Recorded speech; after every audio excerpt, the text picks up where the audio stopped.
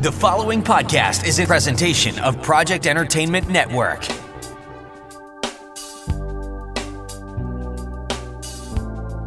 Welcome to the Sample Chapter Podcast, the show where authors read a sample chapter from one of their books. Here's your host, Jason A. Meiske. Well, did you miss me? Hey, welcome to episode 128 of the Sample Chapter Podcast, the show where authors read a sample chapter from one of their books. Yes, indeed, after a very restful vacation, I am back and bringing you more authors and their stories. And today's guest is an exceptional one, to say the least, for I had the pleasure of speaking with California author Matthew Wayne Selznick. Matthew is a creator who likes to make all kinds of things, with also a heart for helping others make stuff too. We discuss his origin story and how that was formed from a childhood in comics, uh, with the stories behind comics, and how those stories still connect with him today. Uh, we also we also learn about that passion he has for helping others. All that before diving into several of his own books, including a sample from his latest book, The Light of the Outsider. It's a fantasy thriller which is just riveting. I got caught up listening to it. It's amazing. You're going to love it. And uh, I, I just can't wait to share this episode for you. So it's a very exciting interview. And that's coming up in just a moment. So stay tuned for that. Well, I have to say, uh, it's for as restful as my vacation was, it's good to be back here doing this again, talking with you, my friends, all over the world. I really appreciate all the emails and comments I got uh, while I was gone. Uh, went away to two different campsites here in Missouri. I was gone with uh, my family and some of my wife's family for a little while throughout the Fourth of July weekend, which was really nice. It was good to catch up with them and and uh, visit for a while before my wife and I came. We actually came home for a day, kind of kind of uh, reload and and repack, and then she and I went away for a week. We went to a little place called the River of Life Farm in Dora, Missouri, which is in the southern portion of Missouri, the southern mid portion of, uh, of Missouri in the Ozarks, and it's uh, it was a treehouse cabin right on this river, and it was just the most peaceful place I have ever been. I've got to say, and I mean, and I and I lived in Alaska for a while, which was great and all, but holy cow. We sat on the deck, watched deer come along. We saw mama deer, you know, nursing her baby. Uh, I got to do some fly fishing, and I wish I could say I caught some, but my fly fishing techniques are subpar right now. But still, it was, oh my gosh, you, you guys have got to try it out. You got to go check this place out. It's amazing, and uh, just considering I was at an RV park before, and so you got the constant noise around you, uh, all the other campgrounds, you know, the people playing music or whatever, which you know that's fine. That's that's the way it, it's what happens. Um, and then I go here where you hear nothing but the river or the sounds of nature. Holy cow, it was amazing. So I did do some writing while I was gone. Started actually I started a brand new. Uh, I think it's gonna be a short story which uh, that was awesome. Woke up every morning and worked on that for a little while, and um, I haven't worked on it too much since I've been back because been so busy catching up on other things. But still, it's it's exciting. I'm looking forward to getting back into it because it was. I think it's going to be really good. It's going to be really exciting, uh, and I, hopefully I can get that knocked out this year. But uh, yeah, once we got back though, man, I had a lot of behind the scenes items I had to take care of with the show. Uh, things I had to work on, including following up with, uh, as I said, all the emails that I'd received. Uh, interestingly, I've also discovered that I have I have a lot of people either coming to the sample chapter website and clicking the link for my personal author website, or they're searching me and finding my author website at jasonameiske.com.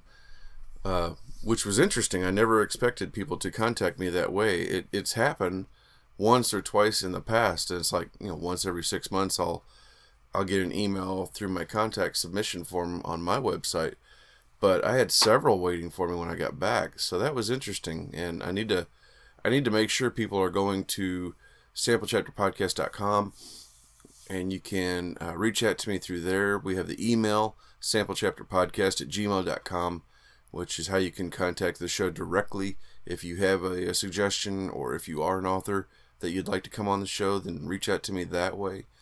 Um, any of those ways. We also have the phone number now as well, so you can call or text, leave me a voicemail, and the number there is 660 851 1146. So I've had a little bit of work to do on the website. I want to kind of touch that up a little bit, make sure that it's more visible so people see that, hey, here's the email or here's the phone number, you know, reach out to me that way. And I don't know, uh, I, I need to just make sure that that's, uh, people are finding me that way instead of through my other because ironically, my website was not connecting the emails that, that it wasn't forwarding the emails to me. So I just happened to look over on my website. But anyway, glad I got that settled and sorted out. Uh, along with contacting me in those uh, through the website, the email, and the phone number, you can also follow us on social media at Facebook and Twitter. Just the Sample Chapter Podcast. Look up, look us up there, and follow the show. We do, I do try to post quite a bit. Uh, I haven't, I haven't posted as much of late because I was gone and I did not fill out my buffer as much as I thought. but I am back now, so I'm gonna have a lot more interactions in both websites, on both social media sites that we're part of. So follow us there. Uh, but uh, yeah, another exciting thing I was able to do during that break too was was able to secure another six month sponsorship from my favorite writing software, Scrivener. They're incredible. I just love those people. They, you know, I love this software. It was great being on my vacation and still being able to access Scrivener on my tablet, uh, which is what I brought along with me. I didn't bring my laptop.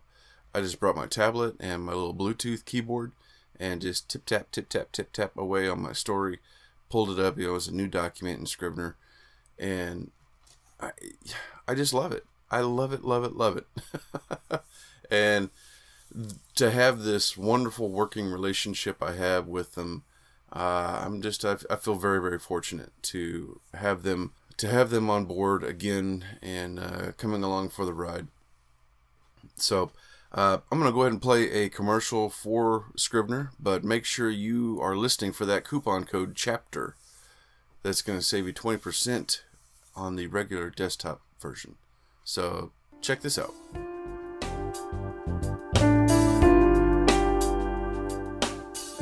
Jason here. Hey, I wanted to take a moment and tell you about my favorite writing tool, Scrivener. Now, I know you've heard about Scrivener because their writing software has been embraced by hundreds of thousands of other writers like you and I, from the novice to best selling novelists. The reason we all use it is because of Scrivener's core concept to bring all the writing tools you use together in a single application. And with tools like automatic backup, character maps, project goals, and let's not forget that amazing corkboard. You can see why I use Scrivener every day. As a bonus for Sample Chapter podcast listeners, use code CHAPTER for 20% off your desktop version. Scrivener writing software, built by writers for writers.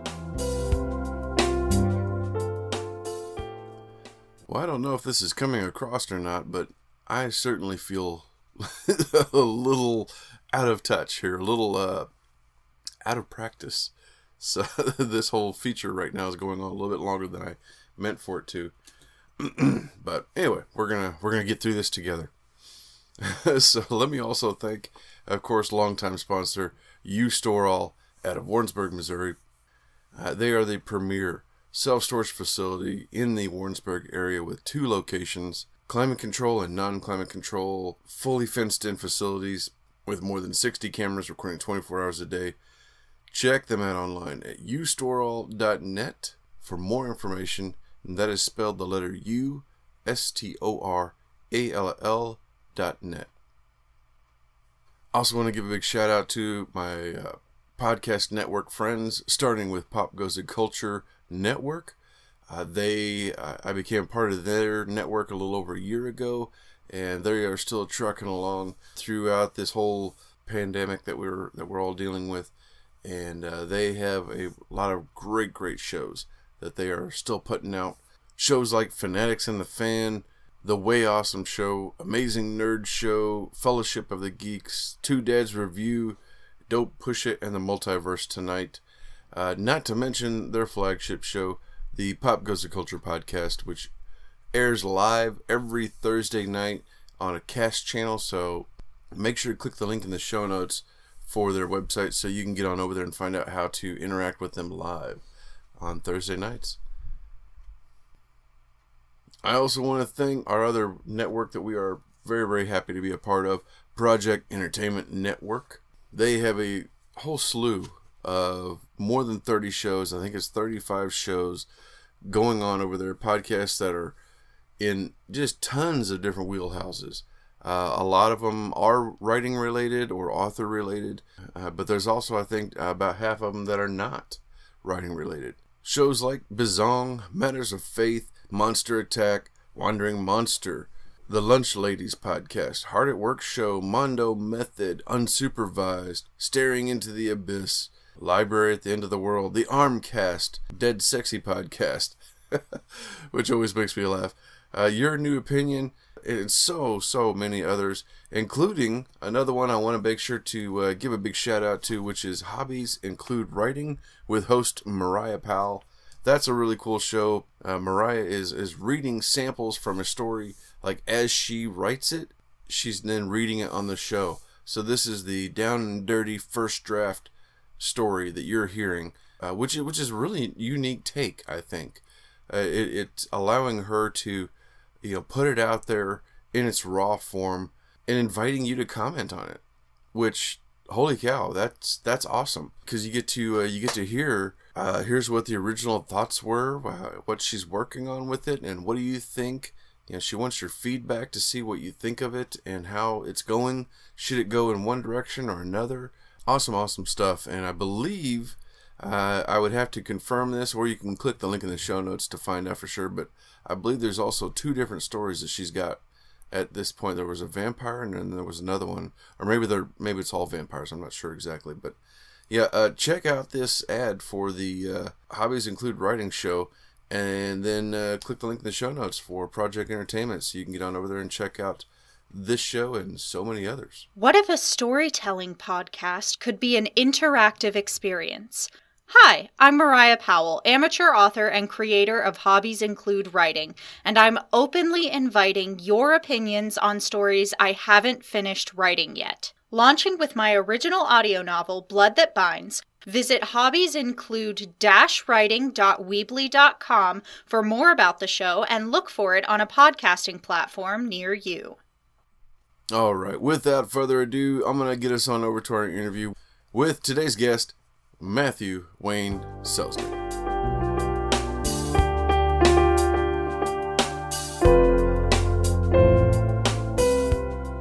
Hello, Sample Chapter listeners. Welcome back. It's been a great vacation for me, but today I'm sitting down with Matthew Wayne Selznick.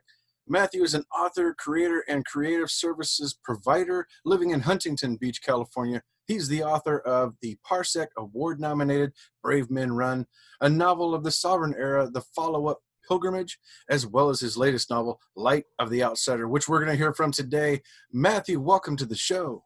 Thank you so much. I'm really excited to be here. I'm excited to have you here too, and and I want to thank you. Uh, we have a unique relationship, in that we kind of got to have a little uh, back and forth before, and you introduced me to uh, previous guest, M.L. Winitsky, who read from A Fly on the Wall, which was a lot of fun. So thank you for that. No, you're welcome. You're welcome. I'm glad it all worked out. Yes, that was great. And that's part of your services. So tell us a little bit about what you do during the day. Oh, yeah. Um, my day job, if you will, is as a creative services provider. Uh, I help authors and podcasters and other creative folks basically bring their creative endeavors to fruition, to market, and to an audience. Uh, I work as a freelancer from home, so uh, this uh, whole stay-at-home, shelter-in-place pandemic era is really nothing different for me. Uh, I'm I'm in front of my desk, uh, you know, in front of the monitor, uh, just like always. and and yeah, I I've been an independent author and publisher um, since, gosh, 2005 or 1999, depending on how you want to count it, and um, done marketing for uh, that, you know, my own works and for uh, others, and uh, did a little time with a boutique uh, uh, internet marketing company, and we worked on various movie and TV shows, and so I've taken all of that sort of personal experience and professional experience, and now I use those skills to help uh, new authors and podcasters and and uh, a couple of artists and uh, folks who come along, uh, you know, usually by referral and uh, need help getting their their stuff out into the world. Uh, everything from editing to copywriting to website design and soup to nuts, A to Z, as they say, and and yeah, that's that's how I actually uh, knew M.L. Wanniski uh, because I was helping him with uh, his book release, and now yeah. here we are with my book release. yeah, yeah. Well, that's great though. That's that's awesome. That it sounds like you're doing a great job. I know I had a really good time talking with you, and then of course with with Marvin uh, was a lot of fun, and and he had nothing but great things to talk about. Uh, to say about you so this was great i was so happy that you reached out to me with with your own books and uh, just going over your collection, I mean, you've got quite the impressive collection of you know different uh, world building and story design. But for me, as a child of the 70s and 80s, I've got one in particular that has caught my attention, and I'm going to spring it on you here. I want to know about reading The Amazing Spider-Man Volume One. that was a labor of love. Um, reading the amazing spider-man uh, volume one there never was a volume two but uh, that uh, basically so a little backstory. I bought my first issue of uh, the amazing spider-man. I was gosh maybe six years old. Um, it was 1972 or 73 off the spinner rack in a drugstore. My grandmother was picking up some prescriptions, and of course, I was looking at the comic books. And I still have that that issue uh, today, and it uh, it hooked me even at that young age. I was fascinated by the fact that uh, there was so much going on in the lives of these characters, uh, so much interaction. I didn't really I didn't have the words for soap opera or anything like that. I'd probably never seen a soap opera at six or seven years old or five or six, but but uh, that's what it was, right? Peter mm-hmm. Parker and and and Gwen Stacy and Mary Jane and all these people and, and all back and forth. I don't even think he got into costume until like page eight, you know? Yeah. and it was just it was it was so cool. And uh, I've been uh, a Spider-Man fan ever since. And I realized that if you read the first 12 issues of The Amazing Spider Man, that everything for the next what are we on like 800 issues now? Oh uh, gosh yeah I all that all now. Yeah yeah uh, all the groundwork was laid in those first 12 issues. The the relationships and the personalities and it doesn't matter how many reboots they do or you know uh, retcons or new characters they introduce or people who die come back to life whatever all those core themes including of course the fact that most of his villains are based on other animals uh, it's all there. And so uh, I, i'm fascinated by the idea of creating a creative franchise right so mm-hmm. as as creators we're not just writing books we're hopefully creating things that can be repurposed into comics and films and and you know what have you um, and creating worlds story worlds i call them um, that and of course that's what stan lee was doing in 1963 with with uh, the early marvel comics him and jack kirby and steve ditko um, and uh, I realized that looking at those 12 issues of, of The Amazing Spider Man, I could kind of deconstruct them and have some fun with it.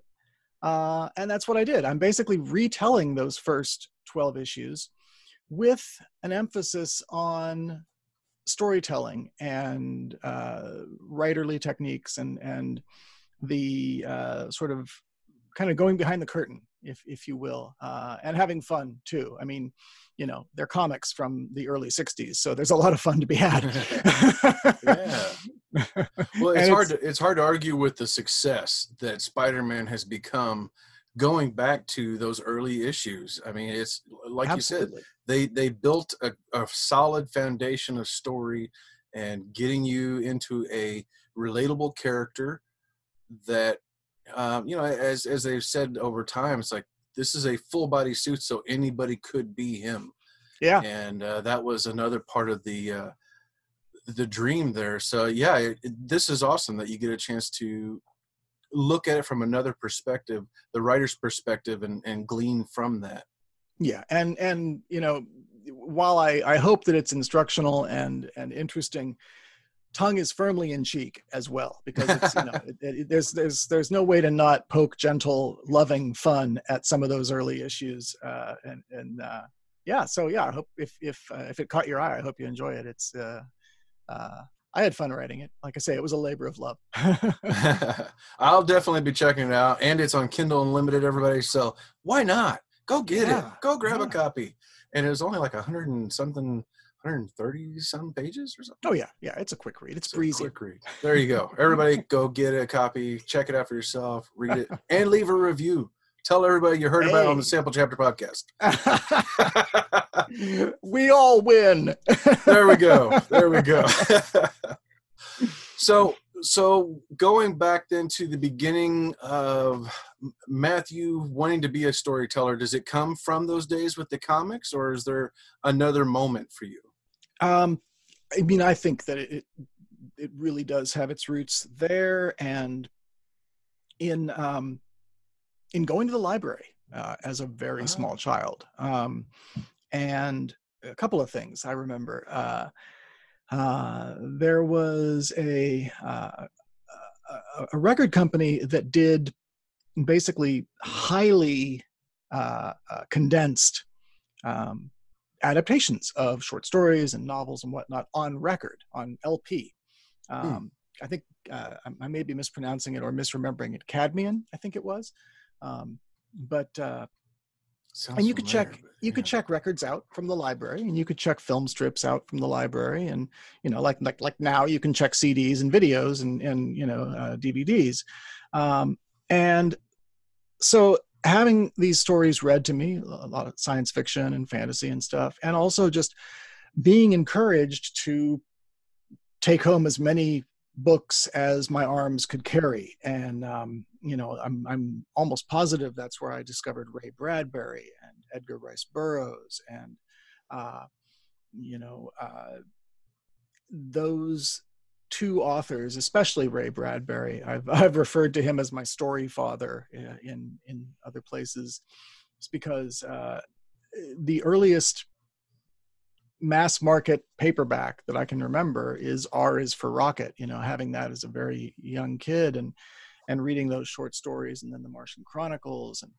and then Isaac Asimov's Foundation trilogy and the Tarzan books and on and on from there. And of course, concurrently with that, comic books. Um, and and I think what really what really grabbed me is and especially with with comics the um the worlds that were being built the continuity the fact that characters from different books could show up in each other's stories and interact and they all lived in the same world and then later um, you know as a preteen reading stephen king and gradually realizing that the town with all the vampires was just down the the, the freeway from the place where that rabid Saint Bernard attacked, and that all of the Stephen King stuff was basically in the same world, in the same universe. Um, and uh, love that idea and uh, michael moorcock is another early influence that his all of his uh, eternal champion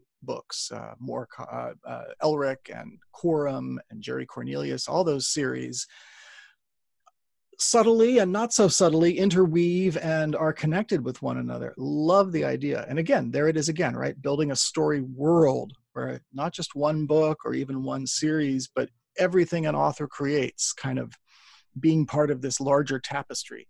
Um, and yeah, it wasn't long before I was starting to to piece together my own uh, stuff. Uh, my I, I, my the first story I remember writing, uh, I must have been. I mean, how old are you when you're when you're learning your letters and you're uh, I don't know if they even still do this, but you're but you're learning your letters on those sort of dark gray uh, landscape format pieces of paper with the very thick lines. Uh, oh, yeah. right? Uh-huh. Takes you back, you know, and, and again, I don't even, I'm 53 years old. I don't know what they're learning on now, probably tablets, but, uh, but I, I remember writing a story about an evil triceratops who had kidnapped some grapes and his whole purpose was he's going to take them down to the beach and let them dry out and turn into raisins. And I don't know. That's uh, I do not remember how it ended, but that was the very that's where it began at least. Uh, and then of course, you know, later on uh, in junior high and high school, writing um, very very short little stories, episodic stories featuring my friends and you know that kind of thing, and and it all just kind of snowballed from there. I've never not been a creator of some kind, uh, whether it's words or music or uh, uh, as the words and the music took precedence, the art, the actual uh, uh, drawing and painting and things like that kind of fell by the wayside. But always mm. trying to make something, always making something. And these days, it's it's mostly writing. Yeah. Long answer to a to a quick question. that's all right, but I mean that's that's what's fun about this is getting to have that conversation and and get to experience, you know, what made you the writer you are today, the the creator that you are today. And like for me, I mean, we're pretty close to the same age.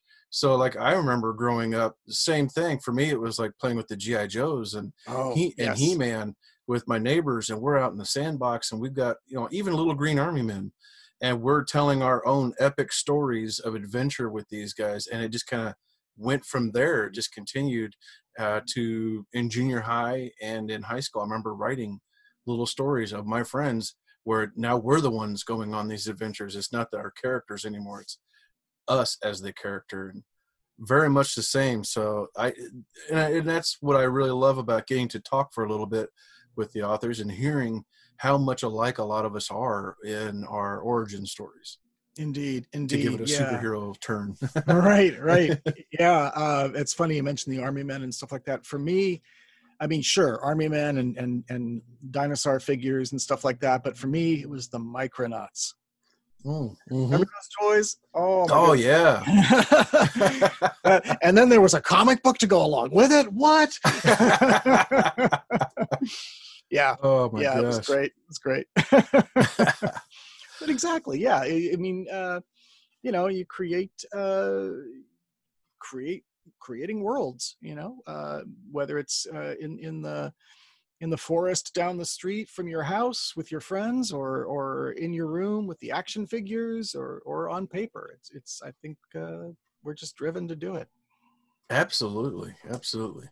Well so another one of the books that caught my attention and i think i think it was one we mentioned in the uh, at the top of this interview was the sovereign era year one. Tell us about this and and how this came to be Okay. Um, the Sovereign era is probably the story world I'm I'm most known for.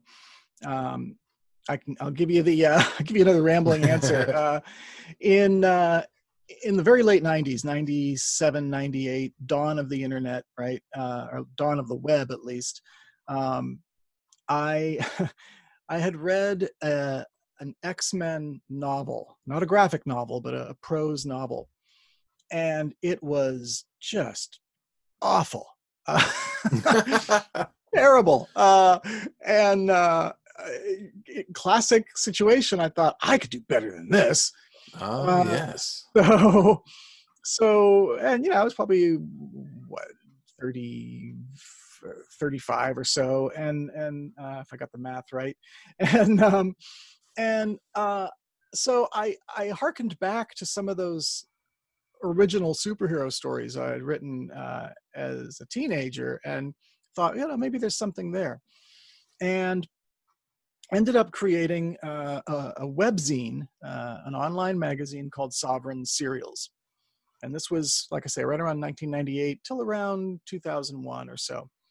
And it was basically uh, episodic, ongoing serials uh, in prose form um, of this alternate history where in April of 1985, superpowered individuals reveal themselves to be living here on earth with us and uh, you know have one way or the other kind of always been here.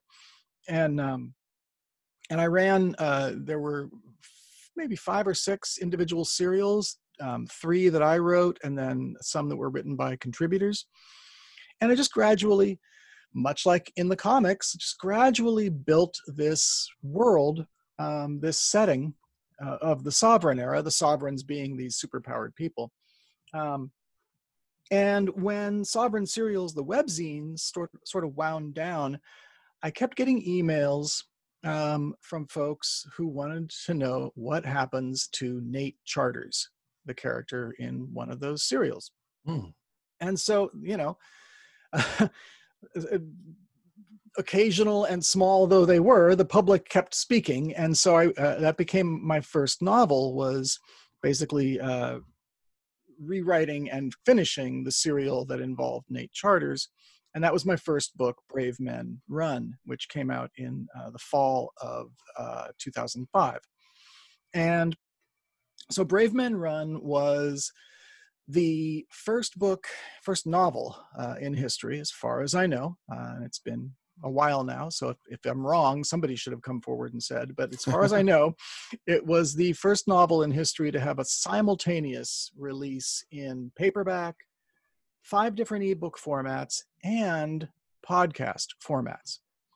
Wow. So you could buy the ebook, uh, and yes, 2005, you could buy an ebook for your Palm Pilot or for uh, your remember that your Sony Reader, or uh, yeah, there were there were a few out there. The Kindle didn't exist yet. Um, you could buy it in, in ebook formats. You could buy it as a paperback, or you could listen to the free podcast.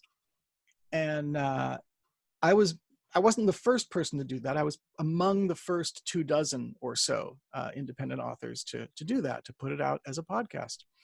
And um, through the sort of uh, unusual nature of that, um, a lot of people who were podcasting were interested in that, um, which gave me lots of opportunities to get on their shows and not just talk about Brave Men Run, but talk about podcasting and independent media and uh, podcast novels because back in those days the first question was are you crazy you're giving away your book for free um, but it was a marketing technique right? Uh, it, right. it sold it sold ebooks it sold paperbacks and there were some months when voluntary donations to the podcast uh, surpassed any other form of, of revenue from that book um, so that was the beginning of the sovereign era cycle uh, of books. Um, I gathered together uh, seven or eight of my peers in the podcast novelist sort of realm. People like Mur Lafferty, who's gone on to write Star Wars tie in books, and uh, uh, J.C. Hutchins, who had a very popular uh, series of novels uh, with his Seventh Son series, and people like uh, Nathan Lowell and uh, Matt Wallace and, and uh, uh, got all these folks together and invited them to write stories that take place in the sovereign era, um, sort of after the events of Brave Men Run. So, mm. um, and to cover the next 12 months in that history. And so that's what the sovereign era year one is as a collection of, uh, of those stories set in that, in that story world. Um, which was served and then there's a short story called uh, the world revolves around you that is also sort of in that time frame. But I that I wrote that, and I didn't want to put it in the anthology of these other authors. So that's just a standalone short story. I wanted, you know, let's not have the editor put his own story in in his collection. You know, let these other people shine, and and shine they did. Um, and uh, and so uh, and then the second uh, sovereign era novel pilgrimage picks up a year after brave men run. So uh, slowly telling the story and pilgrimage is kind of a, a follow-up to brave men run. It features many of the same characters and kind of closes that loop. Um, and there have been um, let's see uh, there's been one other uh, two other sovereign era uh, short stories and uh, novellas since then there are at least three other novels uh, to come in that setting, and I also do a uh, an intermittently released free serial on my own website, mattselznick.com, called Hazy Days and Cloudy Nights, and that takes place the year before Brave Men Run. Um, and uh, so Wow. you know lots yeah. of different stories to tell lots of lots of uh, toys in the sandbox there and um and it's uh yeah i mean for the the the idea there is to tell the the history of the last you know uh 15 20 years or so of the 20th century uh in this world where basically meta-humans appear at the height of the cold war uh, and how does that change things and what happens and um, how does society change? And really like most of my writing what does it mean to be human you know? Mm-hmm. uh, so that's uh that's the sovereign era with uh, brave men run and and all the rest. Yeah. Oh my gosh. Wow. And it, you know and it was one of those things that I, I saw the sovereign era popping up on a few of these, uh, you know, the other books, and it was part of a thing, you know, a, a bigger picture here. So I, I, I was like, oh gosh, I got to just pick one and, and let's run with it and see where this goes. So that was that was sounds amazing though, and it's amazing artwork, uh, amazing sounding stories, and I gotta say too, Brave Men Run and Pilgrimage. I love the artwork. It's got such an '80s throwback look to it, like Max Headroom kind of a feel to it. Indeed, yeah. That artist is uh, that cover artist for those two books is Neil von Flue. Uh, he is amazing. Uh, his work search him up on the Google. Uh, his work, he works in a number of different mediums. I told him what I wanted for those covers, and he delivered immediately. But he also works in full oil. He sculpts. He does murals. He's uh, he's uh, kind of a genius. Uh, I was uh, I was lucky to get him. Uh, it's, it's funny. We actually worked together uh, in the early &90s or mid '90s uh, at a bookstore, and got back in touch years later. I'm like, oh, hey, what do you know? You're an artist. Hmm. Tuck, tucked that in the back of my head, and uh, when the time came, uh, no, he's done he's done covers for uh, uh, uh, Neal Stephenson's. Um, oh man, what was that series of books that Neal Stephenson did? Uh, an alternate history that takes that like basically what if Genghis Khan hadn't been stopped, um, and it, it uh, I can't remember the name of it, but oh. but yeah, he's oh. he's the real deal. Uh, is, uh, Neil is uh, Neil von Flue. So all credit to him for those covers. I I also love the way they came out, and they're they're of a piece. The cover for um, uh, for the Sovereign Era Year One, um, and I'm going to be on the spot right now. It's been many many years since I've talked to the guy, but uh, that's another one where I found an artist who um, was doing all this role playing game art he did the uh, cover for the uh, Game of Thrones role playing game, and, and, it just so happened that somebody I knew knew him, and uh, you know, folks are willing to do stuff. Uh, independent creators tend to help each other out, and uh, mm-hmm. you know, work for reduced rates and stuff. So, yeah, with both Neil and and with the cover artist of Sovereign Era Year One, I was definitely uh, I was out of my weight class on the with those folks and and very very great very grateful that's one of those things that I it's like we were talking before. Uh, being a creator, uh, I used to love to draw. I used to love to draw and paint and do all kinds of stuff. I still have a few of my pieces that were the better ones, um, but yeah, as as I got older, I didn't want to put that much work into something that maybe I'd hang on the wall or maybe it would get destroyed. I didn't know. Um, and I, my interest went more into the storytelling than that. And now I'm like, like when I was writing my first book, I thought, oh, maybe I'll do a uh, cover for it. And quickly realized, no, I'm not doing this. This is not my cup of tea. I cannot do this. my my rule for my own self-published work is for the if I release a short story, you know, as a standalone little short story, a little 99 cent thing, um, I can go ahead and throw a cover together, you know, with mm-hmm. some uh, uh, with some public domain art and and whatnot. And uh, but for the novels, for the book length stuff, yeah, I'm gonna I'm gonna, I'm gonna I'm gonna go ahead and invest in somebody who knows what they're doing. but that's great though. I mean, and it's that's another one of the things that I think creators do is, like you said, we we meet other creators, and you, I don't know how many cards I have collected in my just in the last few years, going to events or meeting people online. I'm like, oh, I like that work. I'm gonna save that in a folder here on my computer and for a rainy day. And you never know when all of a sudden you've got somebody who's like I, I got I, I think I know the perfect person to reach out to. Exactly. Yep yep.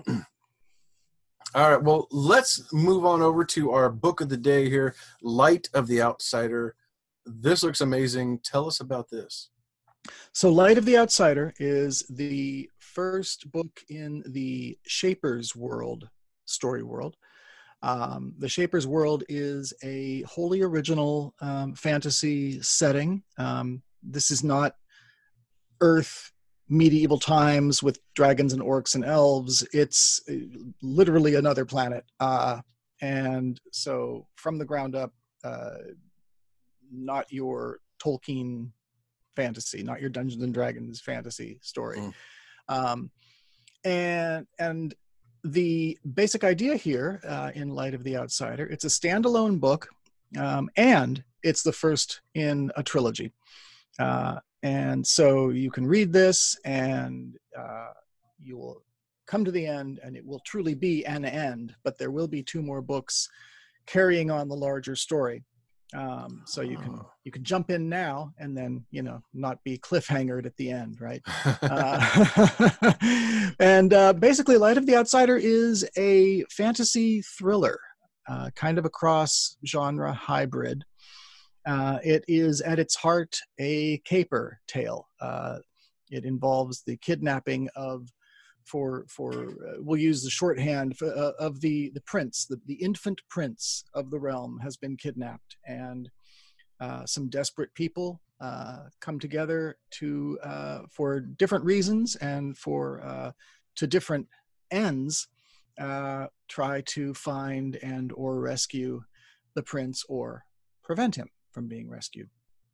And behind it all is a much larger threat that uh, threatens not just the the sort of stability of the realm because the heir has been kidnapped, but uh, so there's there's international pressures and international tension and uh, a greater threat that really is uh, cosmic horror wouldn't be wouldn't be putting uh, putting it too too lightly. Uh, so so there's a little bit of, of of like I say, it's it's a bit of a hybrid. It's uh, it's a kind of a gritty street level fantasy novel, uh, structured like a like a thriller, like a caper story, uh, uh, with some um, kind of otherworldly horror mixed in uh, as a as a light garnish. Uh, and uh, yeah, and it's there are to be at least planned out. There are there will be six uh, Shaper's World novels to kind of complete this. Uh, so two trilogies basically to kind of uh, complete the arc. And but I've also got plans for uh, a bunch of bridging short stories that will kind of fill the gaps between the novels and uh, a couple of serials and lots of plans for the Shaper's World story. And it all all starts with with Light of the Outsider. Wow. Okay. So, do you find it?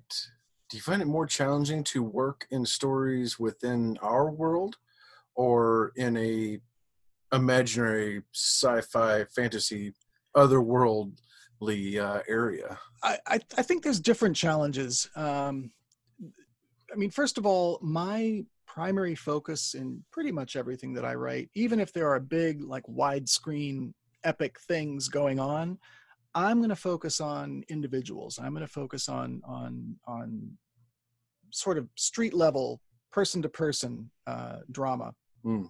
Um, doesn't mean there wouldn't be like a giant battle going on, but the camera is going to be on a few people. It's not going to be at the top of the hill looking at you know the whole thing. If you, if that makes sense. Yeah. yeah. Um, uh, because that's that's what I'm interested in. I'm interested in how people deal with with uh, crises, with character defining situations. So that's always a challenge. No matter the uh, no matter the setting. In fact if it, if i don't find it challenging then i'm probably not not doing something right. I'm probably not working hard enough. Uh, but as far as the world building you know uh, there's there's challenges that are unique to creating uh, an original fantasy setting or as much as if you were to create a book that was set on an alien world for a, a science fiction story right? Um, mm-hmm. there are just um, there's stuff you got to figure out so that the world is internally consistent and so that it all kind of hangs together and makes sense not just for window dressing but so that it all serves the story. Uh, right. that's the main thing you know? It's not so important that we all know exactly what shade of green the grass is on this alien world um, but if that was important to the story, then yeah, I'd figure it out and have a reason for it. Um, there's, uh, I mean, the Shaper's world is, I know uh, what star in the sky it actually circles. Um, it's it's an actual place and i've got the the astronomy figured out because i needed to i needed to know well because i needed to know yeah. things like how long is the day you okay. Know, yeah. I, I didn't I didn't want to do something just so simple as you know it's basically earth but it's not earth right it's 24 hours there's a moon that looks like the moon there's wow. why not why not just set it on earth if i'm going to do all that you know right so um but the challenge getting back to the, the question uh is to not go too deeply down that rabbit hole you know because i i know a lot of world builders who writers who are world builders first and they never really get around to the writing mm. they mm-hmm. they get comfortable um, figuring out every little biome and all the ecology and you know uh, uh the the history down to the the, the minute and you know they're they're filling all the cracks in the wall and then they kind of not to speak too unkindly, but they then they wall themselves in and they they never get around to telling the story. Exactly. Uh, I have fallen into that trap uh, in in my life, so I I can speak I can speak about it as someone who's climbed out. You know. Uh, um, so you know, so that's a challenge. You know, knowing when to stop, uh, allowing, uh, making sure that you don't allow the the the world building to to get in the way to keep you safe from the actual writing um, and uh, but you know whether it's whether it's working out a future history like the sovereign era even though it takes place in the 80s it, it carries through um, and and you know how do these superpowers work and all that kind of stuff or working out a completely different world's history uh, and and the interacting relationships between the species that live there and the and the intelligent life that lives there. Um, it, I, I wouldn't say one or the other is more challenging or less challenging. They're just different questions that that have to be answered uh, to the extent that the story requires it. Mm. Um, yeah. And well, that's uh, that's a good answer, though. That, that's a good answer. It's I, for myself. I've learned that I really enjoy writing in reality because I know that. But at the same time, I'm writing a sci-fi, and although it's here on Earth, I have aliens that one alien became three races of alien that became something larger, and I'm slowly going, wait a minute, I, I gotta what did I call them? and yeah, you got to keep track of that kind of stuff and and make sure I, I'm trying not to go too far down that rabbit hole because I've done, like you said, I've done the same thing. I've gone into that rabbit hole of putting up that wall of, of other details that ultimately didn't matter yeah. Uh, to the story. It's like it mattered to me. Like it, it's it's information we need to know as the author so that we can write the story. But yeah, to the reader, they're like, I, I didn't know that. yeah, yeah, and you know, I talk about serving the story and whatnot. One of the sort of pre-writing exercises I did before I started actually writing Light of the Outsider was to just kind of uh, almost like brainstorming on paper. I wrote out the backstories of of the the principal characters up to the, the like the moment before the book begins, you know, or their appearance in the book uh, happens. Oh. Um, and I only had the vaguest idea of who these people were, but as I was writing, I found that a couple of interesting things happened. Number one, I was answering questions about the world that I hadn't really asked myself because I had to in the context of what I was writing, you know? Right. Um, and uh, I realized that in the backstories of most of these characters is uh, four or five short stories that I could write of each of them, you know? So that's how a story world kind of develops, you know, is, is you begin to realize that, that, uh, you know these characters had lives before the thing that you're writing now and they're pretty interesting now hopefully so how did they get that way? How you know their own origin stories or their own chapters in their own lives? I mean this is why we read memoirs from people who are who are real. You know people have interesting chapters in their lives and fictional characters are no different. And and uh, uh, so that was an example of going just deep enough that I ended up actually kind of opening new doors for new stories. You know, so again, there Very we are. Cool. Serve serve the story, and uh, and uh, it's uh, so yeah. Now it's just you know, okay, just live long enough to tell them all. exactly, exactly. Oh my gosh, that sounds incredible, and that's very well done to have the. Um, the windows or the doorways available to you now, so you can take it one way or another and and uh, put in these other stories. That's that's amazing. Thanks. I mean, you know, it, it's still all all that remains is to actually do it. So that's that's that's where the real work goes in. Very true. Well, you've got to let us know when the others are available so that we can make sure and share that with with all of our listeners and tell everybody that uh, the next one is available. Absolutely, absolutely, and um, uh, you know uh, the Light of the Outsider, of course, is available now, um, and you can get it in uh, ebook through Amazon, through paperback, through uh, in paperback through Amazon, or anywhere else that you buy paperbacks online. The audiobook is coming. Uh, I'm in the middle of editing and producing that right now, so uh, it's it's toward the end of July as we speak. I'm hoping by September that'll be out there in the world. Uh, and uh, and the second book, probably the middle of next year. Uh, Shadow of the Outsider will will come next, and uh, but there'll be little things between then and now. Uh, a novella, a short story. You know, there'll be there's always stuff. Folks can go to mattselznick.com. Uh, M A T T S E L Z N I C K dot com, and um, you know you can sign up to the mailing list there and and uh, you'll get my first novel that we talked about brave men run you'll get that for free if you sign up and of course you will then be uh, in the pipeline to know when i've got stuff to tell you about as far as uh, new creations and things like that. Outstanding. So, outstanding. i like how i just slipped that plug in there yes so yes you, you, beat me by just a, just a hair there i was i've done this before. Awesome awesome. All right well we'll and we will definitely have links to all that in the show notes.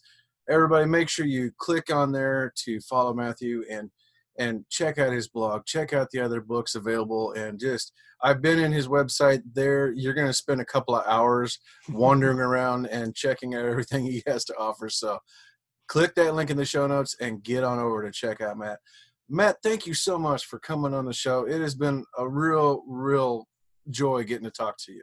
Real good time. I've had a lot of fun. I'm glad we were able to do it. Me too. Ladies and gentlemen, with that said, it's time for me to sit back, have a drink, and I don't know, maybe a cigar. We'll see how I feel. It's time for our guest, Matthew Wayne Selznick, to read a sample chapter from Light of the Outsider.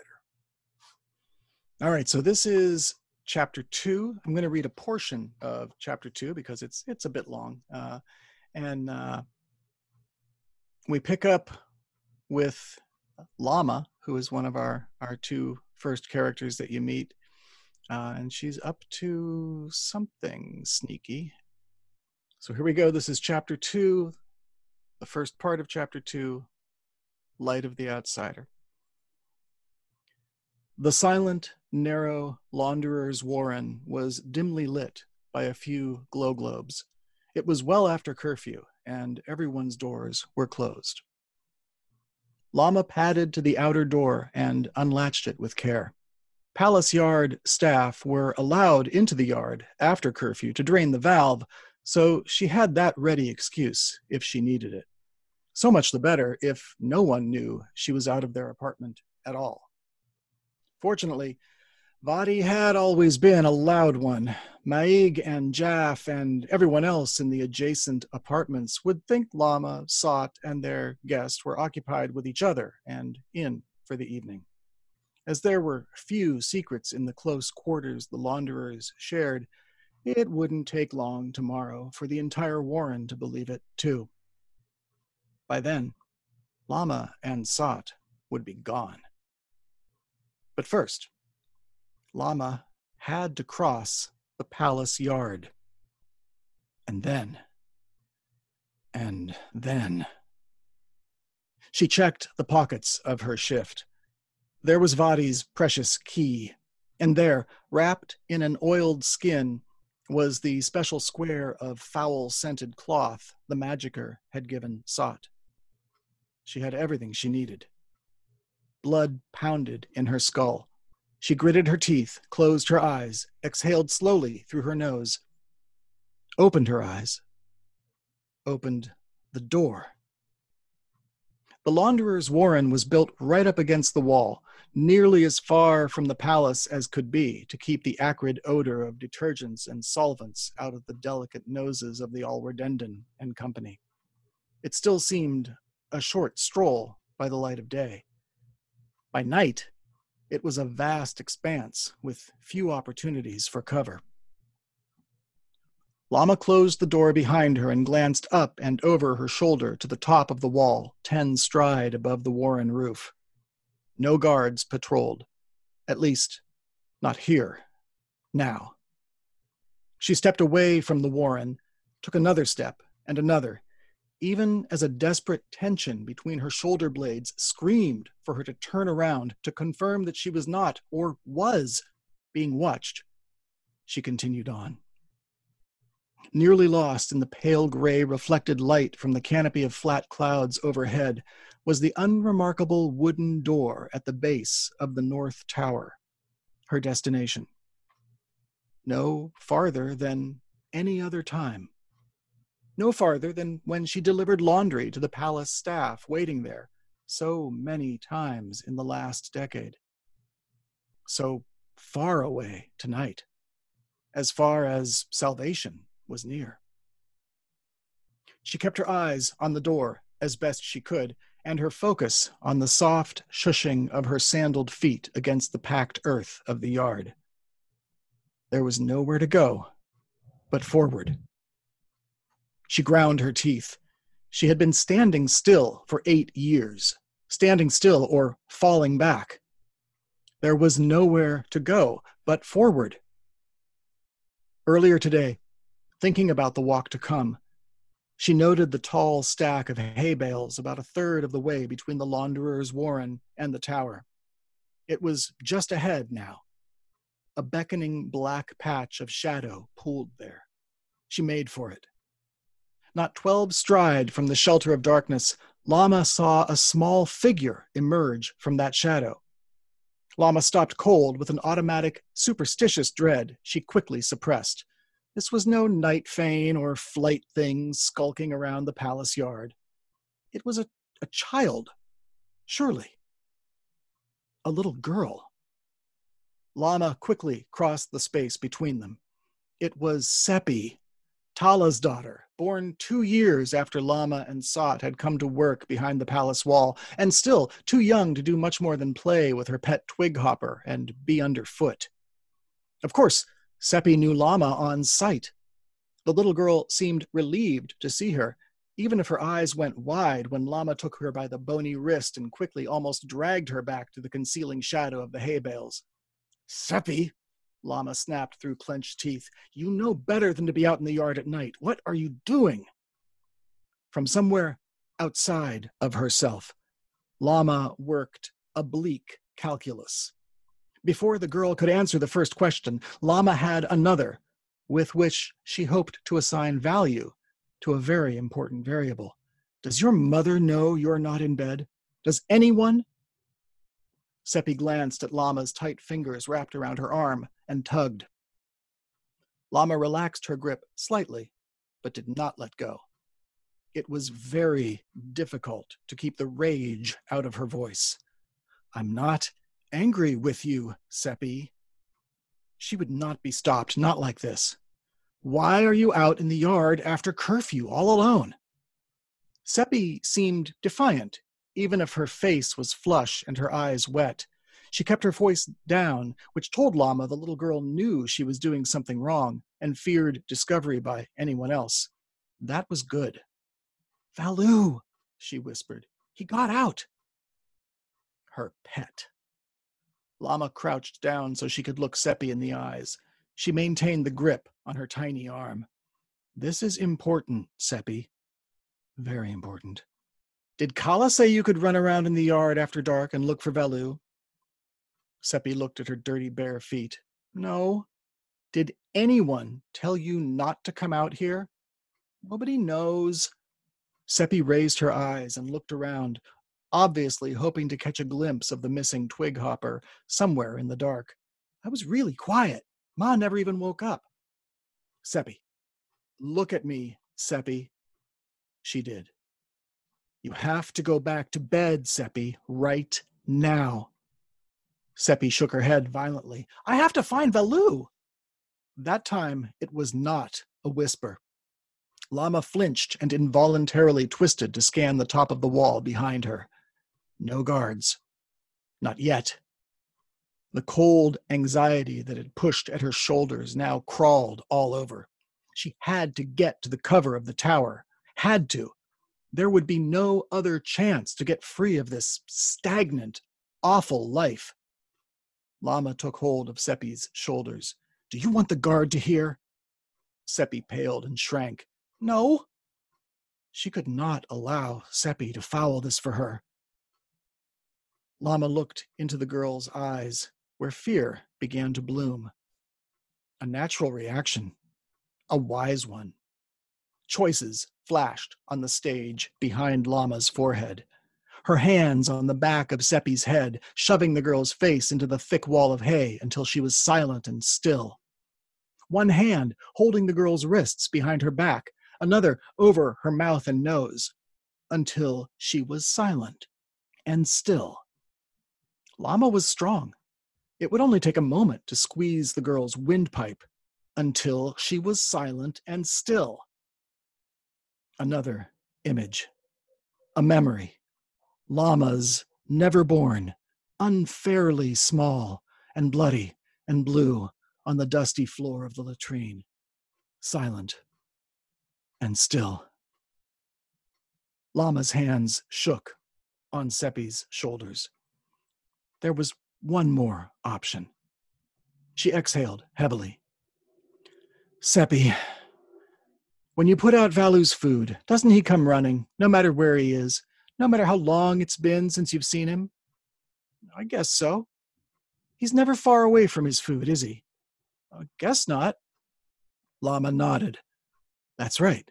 So I'd wager that when you put out his food come Tawake tomorrow, Seppi's voice carried a note of small hope. You think he'll come running? I know I never want to be far away from my first meal. I bet you don't either. Seppi gave this serious thought, then nodded. Lama slowly released Seppi's shoulders. So will you go back to the warren and climb back into bed and do it very quietly and wait for Valu to come to you tomorrow? But what if he's cold tonight or gets lonely? Well, then he'll come back before first meal, then, won't he? Because he expects you to be in your bed, all warm, where he can find you. The most convincing thing Lama could say bloomed in her head. What if he's there now, looking for you? That did it. Seppi took a step toward the warren. You're right. Lama's knees threatened to buckle from relief. She need not murder a child tonight. Seppi, wait, but Valu, I know. I just want to make sure you know you shouldn't tell anyone you are out here. You know that, yes? Seppi nodded. I know. She looked over her shoulder and back at Lama. But why are you in the yard, Lama? Don't worry about that, Seppi. Just remember, your ma and the guards and Warden Tupu, they'd be very angry if they found out you broke curfew. But you are too. Despair threatened. The little girl was two stride away. If need be, Lama could be on her quickly. With luck, she could snap her neck before Seppi had a chance to scream. Assuming her earlier outburst hadn't already caused someone to stir, if not on the wall, then in one of the yard warrens or even in the palace itself. I'm going to tell you a secret, Seppi. Seppi's mouth opened and her eyes got big. Lama continued. A very powerful magicker asked me to do something very important. Do you know what magickers can do? Seppi nodded. She'd undoubtedly heard the same stories Cug had told Lama when she was a little girl. Scary things. Oh, yes. Very scary things. Lama rolled her eyes to the sky. Did you know he's watching me right now to make sure I do a good job? He is? From far, far away, with magic. And do you know what he'll do if anyone finds out about this? Seppi shook her head. I don't either, Seppi, Lama intoned. But you can guess, can't you? You know the story of the Gundi Mag of the East, don't you? Remember what happened to that little girl? Seppi nodded slowly. Her staring gaze never strayed from Lama. So you and I, Lama said, we don't want anyone to know we were out here, or Seppi bit her lip. I won't tell anyone, Lama. Lama made a show of gratitude, a big sigh of relief, clasping her hands at her breast. Thank you, Seppi. Now hurry, but be sneaky. Get back to bed. Seppi ran. Lama wanted to curse. How long had that taken? How long had she been gone herself? Shaper knew Sot couldn't last forever, especially not with Vadi.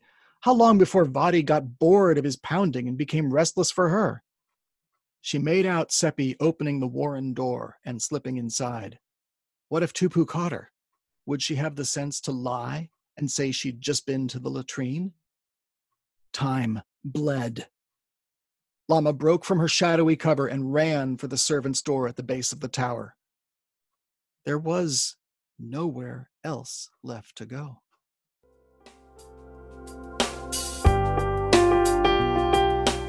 All right, that was Matthew Wayne Selznick reading a sample chapter from his latest book, the fantasy thriller Light of the Outsider. Oh my gosh, it was so good. The uh, and the book is available right now. So click the link in the show notes for the book, for Matthew's website, and how and where to follow him. Don't forget to also click the links for our podcast friends and sponsors alike, and hit that subscribe button so you don't miss out next time when I'm back with a brand new author a new book, and a new sample chapter. Thanks for sticking it out with me this time, guys, and uh, I promise I'll be better next time. Take care.